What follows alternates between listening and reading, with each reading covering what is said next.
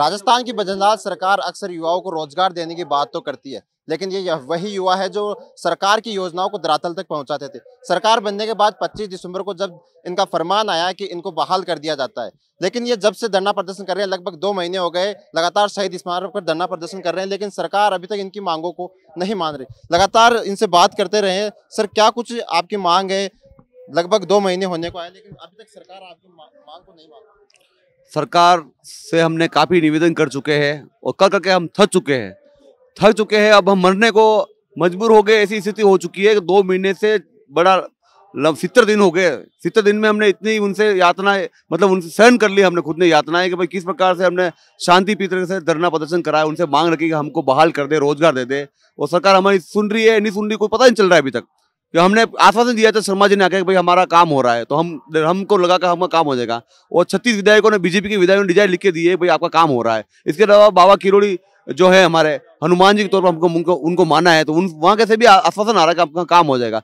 काम आश्वासन होते होते इतने दिन हो गए, अभी तक आश्वासन नहीं दिया जा रहा है। अब आचार संहिता भी लगने वाली है, और हम डरे हुए हैं कि क्या होगा, क्या नहीं होगा, हम सब, हमको कुछ समझ में नहीं आ रहा है। लेकिन सरकार ये सुन ले कि आप अगर हमारा काम नहीं करते हो, हमारे को बहाल नहीं करते हो इन युवा मित्रों को तो समझ लो, लोकसभा चुनाव में आपके जो ख्वाब है, वो ख्वाब ही रहेंगे, पूरे होने वाले नहीं है, और हर राजस्थान में हर जगह पर युवा मित्र आपको मिलेंगे, उनसे आपको सामना करना पड़ेगा। ये हमारी चेतावनी के रूप में समझे, अभी तक आचार संहिता नहीं लगी है आचार संहिता लगे या लगे, उनसे हमें कोई फ़र्क नहीं पड़ा हमारे को हमारा रोज़गार अभी चाहिए बस, क्योंकि इतना संघर्ष हम कर चुके हैं, हमारा दुख दर्द आप देखे, बेचारे ये पूरे राजस्थान के युवा मित्र यहाँ पर आए हुए हैं।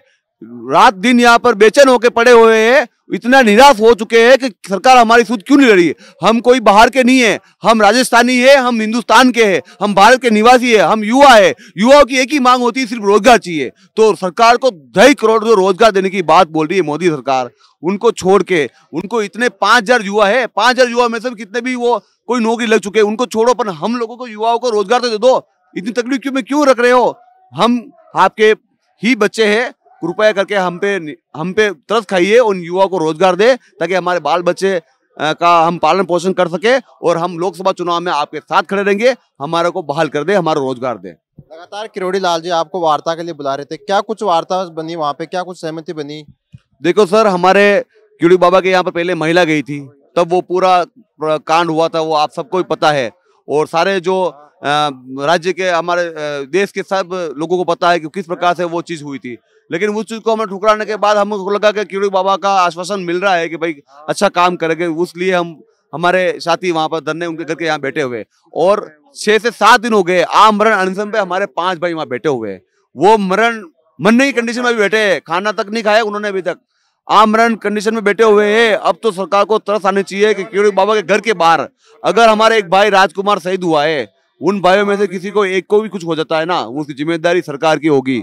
सरकार की ज़िम्मेदारी होगी कि भाई, इन युवा मित्रों ने आमरण अनशन कर रखा है, रोज़गार के लिए करा है कोई गलत मांग नहीं कर रहे, सिर्फ़ रोज़गार की मांग कर रहे। आमरण अनशन बैठे खाना पीना छोड़ रखा है, कीड़ू बाबा के घर के यहाँ पर। तो ज़िम्मेदारी कीड़ू बाबा की खुद की बनती है। राजस्थान सरकार की बनती है, भजनलाल शर्मा जी की बनती है कि उनपे लोगों की वहाँ पर शुद्ध ले, उनको रोज़गार दे। आश्वासन से काम नहीं चलने वाला। है बाबा ने हमको आश्वासन दिया है, मानते हैं उनको। हनुमान जी मान रहे हैं, हम उनको आदरणीय मान रहे हैं। हम आदरणीय से यही करते हैं कि आपका जो प्रस्ताव हमको दिया है, आपकी जो आस लगाई, उस आस को पूरा करें और हमारे को रोज़गार दे। आम अनशन बैठे, उनकी सुध ले और उन हमारे भाइयों का कुछ हो गया तो जिम्मेदार सरकार रहेंगी, बाबा रहेंगे और सारे जो भी राज्य सरकार होगी वो रहेंगी। क्योंकि हमारे भाइयों संघर्ष कर रहे हैं हमारे लिए। उनकी पेड़ के लिए करे कोई गलत मांग नहीं है तो हमें आश्वासन चाहिए हमारे को रोज़गार चाहिए। आज ही हमारे बहाली कर दे ये हम चाहते हैं। धन्यवाद।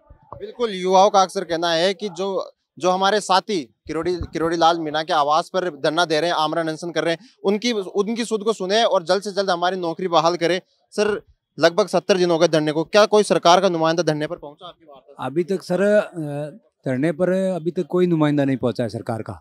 वैसे गोपाल जी शर्मा एक बार आए थे, बाकी वो आश्वासन दे के गए थे। उसके बाद में अभी तक कोई सरकार की तरफ़ से कोई आश्वासन नहीं आया है। और हम हम ये चाहते हैं कि आचार संहिता से पहले पहले जल्द से जल्द हमें बहाल कर दें। हम सरकार के समर्थन में खड़े रहेंगे। चाहे लोकसभा का चुनाव हो, चाहे और हो, और राजस्थान सरकार की जन कल्याणकारी योजनाएँ हो, भारत सरकार की जन कल्याणकारी योजनाएँ, जितनी भी योजनाएँ हम एकदम आत्मविश्वास के साथ में उनका प्रचार प्रसार करेंगे और सरकार की जो जितनी भी फ्लैगशिप योजनाएँ हैं, उनको हर वंचित को लाभ दिलाकर उनका लाभ दिलाएँगे। और बाकी हम ये कहना चाहते हैं, सरकार से निवेदन करते हैं बार बार निवेदन कर रहे हैं, आज सत्तर दिन हो गए हैं, सत्तर दिनों में हम बार बार निवेदन कर रहे हैं, हाथ जोड़ के निवेदन कर रहे हैं कि हम अहिंसात्मक रूप से इस धरने को चला रहे हैं सत्तर दिन से। हमें अभी तक मतलब कोई ऐसा कदम नहीं उठाया है कि वो मतलब मतलब ऐसा कदम नहीं उठाया है कि गैर कानूनी हो। हम एकदम अहिंसात्मक रूप से आंदोलन कर रहे हैं और अभी सरकार नहीं सुनेगी तो हम आगे कुछ और हमारा रास्ता है। जैसे मान लो हम लोकसभा के चुनाव हो रहे हैं, हर ज़िले में लोकसभा का चुनाव है, उसमें हम जो ब्लॉक ब्लॉक और जिला कार्यकारिणी बनी हुई है, उस तरफ़ से हम उनका अगर नहीं करेंगे, ये बहाल नहीं करेंगे तो हम उनका पुर ज़ोर से उनका विरोध करेंगे। विरोध मतलब उनको विरोध करेंगे, गाँवों में भी घुसने नहीं देंगे, सर। ये बात। बिल्कुल। अक्सर युवाओं की चेतावनी है कि अगर सरकार हमारी मांगों को नहीं मानती है तो लोकसभा चुनाव आ रहे हैं। हम उसका पुरजोर से विरोध करेंगे, और भी युवा है, उनसे बात करेंगे। सर, क्या लगता है, कुछ समय बाद आचार संहिता लगने वाली है, लेकिन अभी तक सत्तर दिन हो गए आपकी मांगों को नहीं मानी जा देखिए, पिछले सत्ताईस दिसंबर से हम लगातार यहाँ बैठे हैं और सत्तर दिन से ज़्यादा हो गए हमारे पुनरोजगार, पुनः बहाली की मांग को अनवरत रूप से संघर्ष करके सरकार को बताते हुए। लेकिन सरकार इस मामले को लेकर के अभी तक कोई जू नहीं रहेंगी है, सरकार को कोई रद्द अमल नहीं कर पाई है, सरकार ना कोई ठोस निर्णय हमारे हित को लेकर के वो हमें सक्षम रूप से दे पाए हैं। तो अगर आचार संहिता से पहले अगर हमारा काम नहीं होता है, जैसे कि आज विभाग से भी हमें खबर मिली थी और जो हमारी जो सरकार के अंतर्गत शुभ चिंतक है चाहे वो किरोड़ी लाल जी हो, गोपाल जी शर्मा हो, सिविल लाइन्स विधायक, और तन अन्य तमाम जो मंत्रीगण हैं उनसे भी हमारा रबता हुआ था। कल तो उन्होंने आज का ही बोला है कि आज शाम पाँच बजे से पहले पहले तुम्हारे बहाली के संदेश आएँगे और सुखद होगा तुम्हारे लिए। लेकिन अगर आज पाँच बजे बाद नहीं आते हैं तो मैं ये कहूँगा कि ये जो माननीय मुख्यमंत्री है, ये सिर्फ़ और सिर्फ़ खाने का लाल है, काम का लाल नहीं है, और ये और सिर्फ़ और सिर्फ़ बेरोजगारों के ऊपर प्रहार करने वाला, उनकी बेरोजगारों को मतलब दिए हुए रोज़गार को छीन कर लोग मतलब युवाओं को अर्थव्यवस्था से बाहर करने का, उनके परिवारों की रोजी रोटी छीन कर उनको अर्थव्यवस्था से बाहर करने वाला ये आदमी है और ये आने वाले समय में अगर हमारे ऊपर कोई निर्णय नहीं लेता है माननीय मुख्यमंत्री भजन लाल जी तो ये युवाओं के रोज़गार को छीन कर अभिशाप बनने वाला आदमी है ये। और बिल्कुल बड़ी बात यहाँ पर निकल कर आई कि जो इनकी वार्ता थी जो आज शाम को लगभग पाँच बजे तक इनको बताया गया है कि आज शाम लगभग पाँच बजे इनकी बहाली का संदेश आ सकता है। खैर ये तो देखना होगा कि शाम को कि, कि इनका संदेश आता है नहीं आता जब तक बने रहिए हमारे साथ द नगरी मीडिया।